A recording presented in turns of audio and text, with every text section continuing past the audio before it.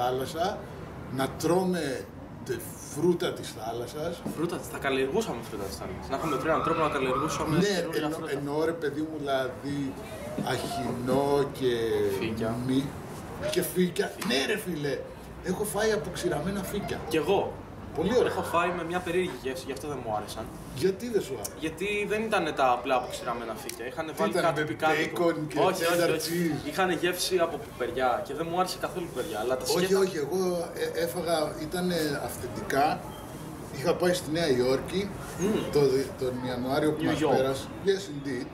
Ε, είχα πάει και φοβόμουν γιατί κάθε φορά που πηγαίνω στη Νέα Υόρκη παίρνω γύρω στα 10 κιλά γιατί τρώω όλες τις αηδίες που έχουν εκεί. Πίτσες, chicken wings, κινέζικα, ιαπωνέζικα, Ναι, ναι, ναι. μεξικάνικα, Ωραίο φαγητό. μπουρίτος ρε φίλε, Ναι, τρελαίνομαι για πω, μπουρίτος. Η tacos. ζωή μου όλη Ίσως τελικά η ζωή μου δεν ήθελα να είναι μες στη θάλασσα, αλλά να είναι μέσα σε ένα Στο Taco Bell. μπουρίτο. σε ένα μπουρίτο μέσα ρε φίλε και να τρως τους στίχους που είναι Ναι, τα δεν θα ήταν κομμάτια. υπέροχο. Ναι, Να μπορούσε να φας στο σπίτι σου. Και να έχει ωραία γεύση όμως. να ήταν το σπίτι μου μεξικάνικο φασφουντάδικο ρε φίλε. Τι είπες τώρα; Ακριβώς. Πολύ ωραία. Πού, ε, από πού ξεκίνησε η συζήτηση;